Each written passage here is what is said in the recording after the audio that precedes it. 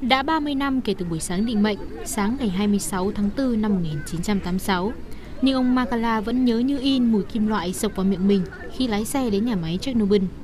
Đêm xảy ra thảm họa, ông bất ngờ nhận được cú điện thoại thông báo nhà máy gặp tai nạn và yêu cầu trợ giúp.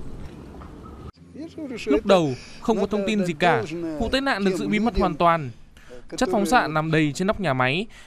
Nhiệm vụ của chúng tôi là chôn chúng xuống đất. Có xe tăng, xe ủi và cả các thiết bị hoạt động bằng điện khác. Nhưng vì độ nhiễm xạ quá cao, máy cũng hỏng. Tuy nhiên, mọi người vẫn tiếp tục làm việc.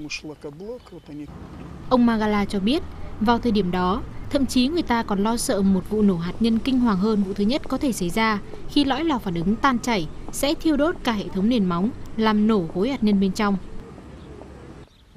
Tôi và 10 tình nguyện viên khác được giao nhiệm vụ khoan thủng bức tường dày 2 mét của bể an toàn để kiểm tra.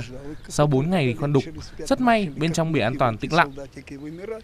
Nỗi sợ về vụ nổ thứ hai được dập tắt, đồng nghĩa với việc 2,5 triệu người dân Kiev sống cách đó 100 cây số được an toàn.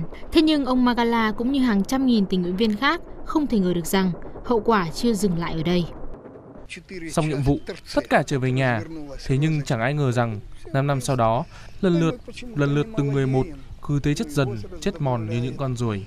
Họ xứng đáng được tôn trọng và tưởng nhớ vì đã lặng lẽ hoàn thành nhiệm vụ của mình rất có trách nhiệm.